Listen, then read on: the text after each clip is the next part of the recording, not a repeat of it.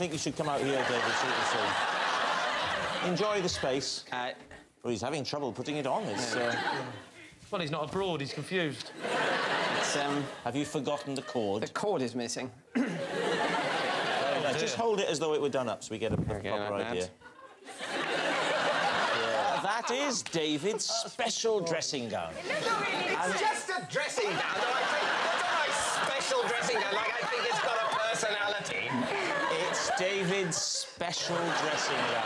You are never going to get away from that now. Everyone who sees this show will look at you and see that Look, forever. Basically, my entire image has been destroyed by this show. I was like a cool guy who was into music and modern art before this show, before all the stuff about dressing as an 18th century nobleman and having a little bell came out. the, travel, the travel dressing gown is just the tip of the iceberg